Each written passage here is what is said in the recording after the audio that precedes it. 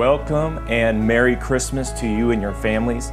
We are so happy that you are joining us this morning. I hope you had an incredible Christmas, that you got to open some really great gifts, and that you're enjoying your time with your family. Thank you so much for going to our website and watching this video. Before uh, we get started into the sermon, we actually have Pastor Justin here with us, and uh, we're just going to say a prayer and then sing one worship song and we'll get right into the word. So, if you don't mind, pray with me right there in your home, right there in your family. Let's just invite the Spirit of the Lord to speak to our hearts in Jesus' name. Father, we just thank you for this time, God, and we recognize that you really are a good Father to us. God, we just recognize that your presence is here with us, that your name is Emmanuel, God with us. And Father, we just thank you that as we gather in our homes, Father, as we gather with our friends or with our family, Jesus, that you would open up our hearts to your word, that you would open up our eyes to see in a way that we've never seen before. God, that as we look into 2017, Jesus, that you would open up the eyes of our heart, God, that you would flood us with light so that we can see things for how they actually are, so that we could see not only what you're doing inside of us, but where you're taking us. In Jesus' name, amen.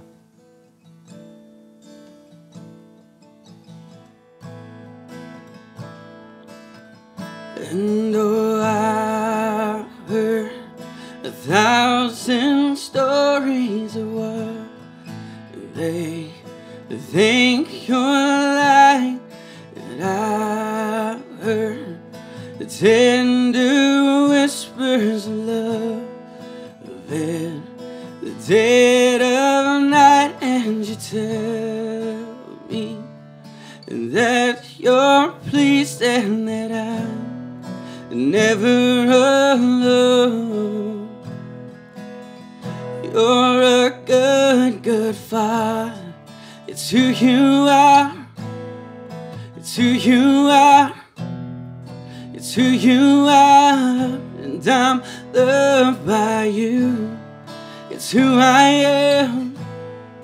It's who I am. It's who I am.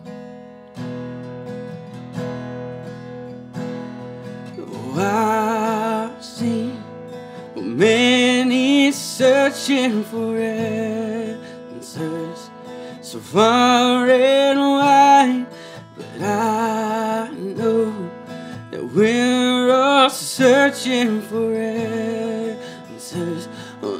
You provide, cause you know just what we need before we say a word. You're a good, good father.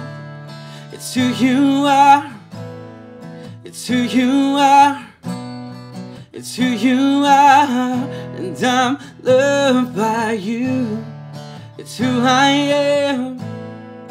It's who I am. It's who I am. You're a good, good father. It's who you are. It's who you are. It's who you are. And I'm loved by you. It's who I am. It's who I am. It's who I am. Cause you are perfect ways. You are perfect in all of your ways. You are perfect in all of your ways to us. You are perfect in all of your ways. You're so perfect in all of your ways.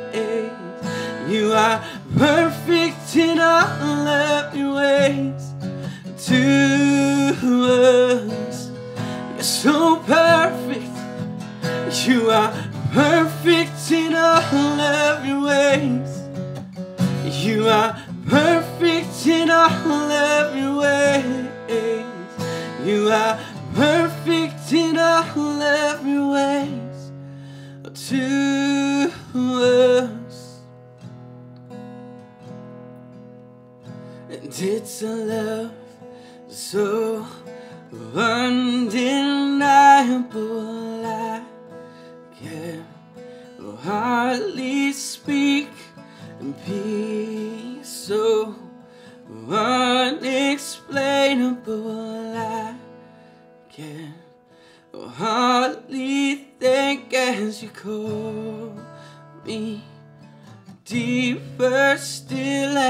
Call me deeper still as you call me deeper still into love.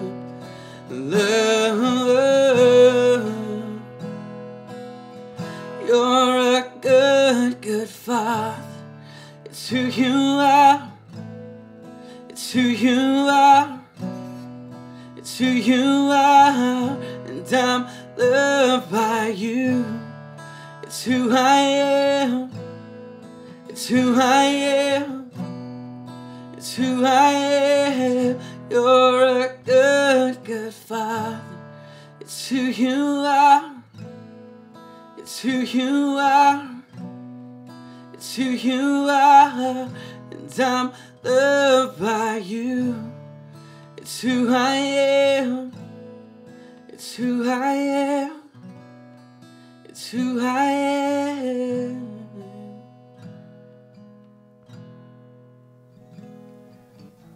Father, we just thank you that you really are our good Father, and that no matter where our relationship is with you, God, as we watch this video, that you're still calling us deeper still. You're calling us deeper still, God. You're calling us to a deeper understanding, a closer walk, a new ability and a clearer ability to hear your voice, to see your workings, to see your ways happening in the world around us. Jesus, we just thank you that you're, you're touching our eyes so that we can see clearly. You're moving in our hearts so that we can hear you better, so that we can see you better.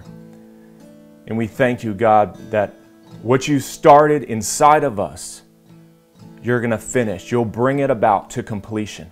That you don't quit on us, that you don't stop, that you don't abandon us because you're a good Father. You're there, God, and you're faithful even when we're unfaithful. You remain faithful. Even when we have deception and, and act contrary to how we feel you've made us, Lord, your grace and your mercy still call out to us. And so, as we gather with our families, as we gather, Lord, we gather with grateful hearts, with thankfulness, with excitement and anticipation because of you, Jesus. And it's in your name we pray. Amen. Amen. Thanks, Pastor Justin. Um, you know, Victory, what I love about you and what I love about what God is doing in you and through you is God has called Victory to be a people of vision. He's called us to be a people that not just uh, see into the future of where God is taking us, but how we're going to get there. And also, not just how we're going to get there, but how we interpret the world around us. And I really believe that this year that God has called us to see with new eyes, that He's called us to see with eyes of hope, with eyes of faith, and with eyes of love. But in order for us to do this, we have to be able to see clearly. You know, in Matthew 6 22, it says, Your eye is a lamp that provides light for your body. When your eye is good, your whole body is filled with light. But when your eye is bad, your whole body is filled with darkness.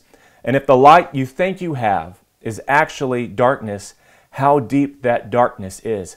And I just think it's so interesting that when Jesus said that your eye is a lamp, your eye is a lamp. And I think that's really powerful statement because it, the lamp is it provides light and your eye provides light that we use to interpret the world around us. And when it says that if your eye is bad, it's not necessarily talking about, you know, looking at bad things or, you know, being a greedy person or being a lustful person or something like that. It's just talking about a bad eye is an eye that can't take in light. And when we're unable to take in light, then we misinterpret the world around us. We misinterpret events around us.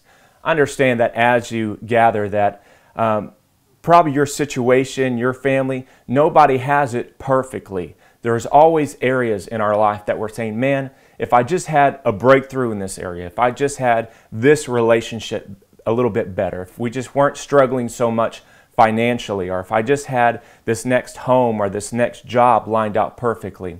But when we have the light of Christ inside of our hearts, it causes us to reinterpret the events around us. But if our eye is bad and we're unable to take in that light, then we misinterpret events. And so instead of interpreting a, a, job challenge or a financial challenge or a relationship challenge in the light of Christ, which is filled with hope, which is filled with love, which is filled with peace, then we misinterpret and we interpret in the light of darkness. And the light of darkness looks like fear, looks like intimidation, it looks like hopelessness, it looks like anger, it looks like deception, and it causes us to misinterpret life's events. One of my favorite stories, and I, I use it pretty often, is the story of Peter. When Peter saw Jesus walking out on the water to them, and he called out to Jesus and he said, Jesus, if that's really you, call to me and I'm going to walk out to you. I just love how that's Peter's idea. Good job, Peter. That's a really interesting statement of faith there. But he calls out to Peter and says, Come on then, come on then, if that's what you want. And to begin with, Peter's walking on the water. He's, he's doing the unthinkable. I imagine the other disciples were freaking out looking at what's going on with Peter. But as soon as Peter removed his eyes, as soon as he unfixed his eyes and fixed them on the events around us, then he began to lose power out of himself. And instead of walking on the water, instead of walking in a place of miracle and power the way we're all designed to, he, be, he began to sink. And when our eyes are bad and we're not getting the light that Jesus has for us inside of us, and we begin to focus on maybe the wind, we begin to focus on the waves. And what's interesting about that is the wind was real, those waves were real, the storm is real. And so it's not like we can just sit into this place and be like, well, it's not happening. These, these events that are happening, these circumstances, they're not real. We can't just live in a, in a fairy tale land. But the fact was that the wind was real. You know, these threats were real. But the problem happened whenever he began to focus so much on the facts that he lost the truth. And the truth was that as long as his eyes stayed fixed on Jesus, then light was flooding into his heart. Light was flooding into his life, and it gave him the power to walk on the water. In Hebrews 12, 1 through 2, it says, Therefore, since we are surrounded by such a huge crowd of witnesses to the life of faith, let us strip off every weight that slows us down, especially the sin that so easily trips us up, and let us run with endurance the race God has set before us. We do this. We do this. Now, this is an important part because God's not just saying, hey, run this race, have endurance, know what your end goal is, but He tells us exactly how to do it. He says, we do this by keeping our eyes on Jesus the champion. I love that. The champion. He is our champion who initiates and perfects our faith. You know, you didn't start the faith that's inside of you. That faith to believe for the dream, you can't say, hey, that came from me. It didn't come from you. It hasn't come from me. The dreams that God has put in our heart, God has put there. The dreams that He's put over this spiritual family, God has put there. And He is the champion who's not only starting those dreams, but perfecting those dreams. He's perfecting that faith. And I believe that this year that God wants to show you some things that you haven't seen before. He wants you he wants to show you some uh, some ways that you're made. He wants to show you a destination. He wants to show you some destiny that is tied into how he made you that you've never seen before. But he's such a good father that he just doesn't show us where to go, but he'll show us every step along the way as long as as long as our eyes are fixed on him.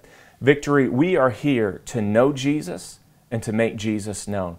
There is a unique God expression that he wants to show himself through your life, through your situation, through your story.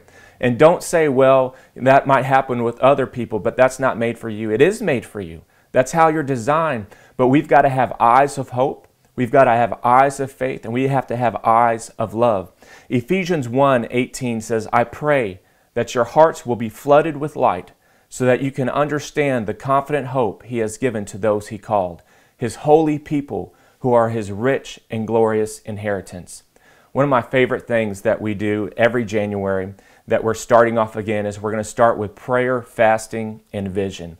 And the reason that we do this is we want to start this year off right. We want to start this year with eyes that are flooded with light. We want to start this year with hearts that are flooded with light. We want to see clearly. We want to hear where God is taking us. We want to allow Him and give Him permission. Say, hey, Jesus, anything in my heart that you want to clear up, that you want to clean up, that you want to get straight, move in me. I love what Jesus said when people were questioning about what authority He had to do these miracles, to heal on the Sabbath, to open blind eyes, which is something no one had ever done before Jesus. And this is what he said. He said, I only do what I see my Father doing. And so 2017, this is going to be a year of breakthrough for you, Victory. There's some things that you're going to look back this time next year and you're going to say, It is incredible to see what our good Father has done through my life and through your life. But that's going to happen as we have clean hearts, as we have clear eyes, as we look intensely into the face of Jesus and we move forward confidently. And that's what prayer and fasting does is it lays ourselves open. And so we're going to start January 2nd. We're going to go through the 22nd and we're going to say, God, we are here for you. We're going to start with worship. We're going to come because guess what, Victory? We're worshipers first. And in our values, His presence is number one. His presence is our first priority. And so that's how we're going to start this year off. And as we do this, I just believe that we're going to see Jesus more clearly than we ever have before.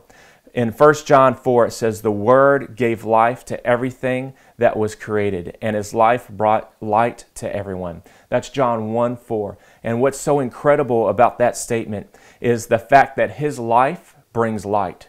His life brings light to our bodies. The closer we walk with Him, the more light that we're able to use to interpret the world around us. And as people of God, as Christians, as followers of Christ, it's really important that we be a people of vision. And victory, God has called you to be a people of vision. And so I just want to pray for us and I just want to bless you. I want to bless your family that this year you're going to have eyes of hope. This year you're going to have eyes of faith. This year you're going to have eyes of love. Would you pray with me now? Father, I just thank you for every person watching this video right now. God, whether they're surrounded by family and friends, or maybe they're watching it by themselves right now. God, I just pray that you would help us all realize that we're never alone, that there's a good, good Father, and that one of his first characteristics is that he is a rewarder, and he rewards those who seek him. You know, if you're watching this video and you've never given your life to Jesus, then we need to stop right where we're at. And I really, I really want you to just be challenged. I want you to look inside of your heart right now. And I want you to decide are you ready? Are you ready to surrender your life to Christ? You know, it's more than a prayer. It's something that we say, Jesus, I don't I can't I can't count on myself to save myself. I can't count on my own righteousness. I need your grace and I need your life in my life in my life. And I need your life to provide light for me to interpret the world around us. If, if you've never said that, if you uh, maybe you were a Christian at one point and you really feel like your life is just turned away from Him, would you pray with me now, just real quickly? Father, I just thank you for every person that's watching this. And God, that those people that would say, I really don't have a relationship with Jesus. But as I've been talking, or maybe it was in worship with Pastor Justin, that their hearts just became convicted This is, I really want a real relationship. I just I just don't want to be a church attender or I don't want to just go through the motions, but I want the life and the light of Jesus to be in my heart, to guide not only my steps today, but guide my future. Lord, I just invite you into my life. I surrender to you, not just as my Savior, but as my Lord. I receive into my heart your Spirit that makes me alive, that makes me a new creation, that floods my heart with light and life. And Lord, I just thank you that inside of me is a treasure that you put there. And as I walk closer to you, Jesus, you're going to unlock that treasure. And that treasure is going to bring hope and life to other people because it it's, pleases you to do it this way, Father.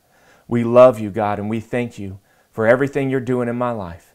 In Jesus' name, Amen. God bless you, Victory. Thank you so much for watching this video. Thank you for gathering in your homes. Thank you for attending our Christmas Eve service last night. And I just pray and I believe and I speak over you that this year you're going to see with new eyes. This year you're not going to interpret life events through bad or dark eyes, but your eyes are going to be flooded with light. And as they're flooded with light, hope is going to arise in your mind. Faith is being stirred in your hearts. You're going to do things that you never thought possible because of Christ in you. We love you so much. God bless you and God bless your family.